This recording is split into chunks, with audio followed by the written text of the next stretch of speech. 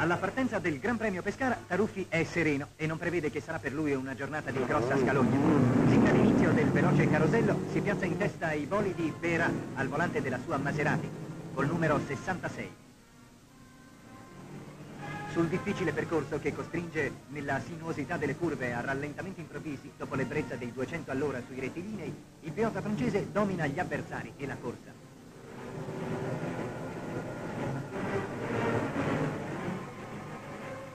Sottoposta nella grande calura a continui ed eccessivi sforzi, la vettura lo tradisce e lo costringe al ritiro.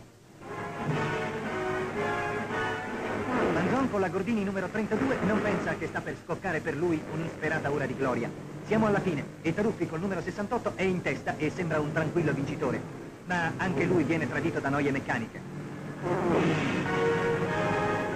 Sul rettilineo finale Manzon brucia Taruffi di pochi metri proprio sul traguardo. Brindisi con acqua fresca per Manzoni.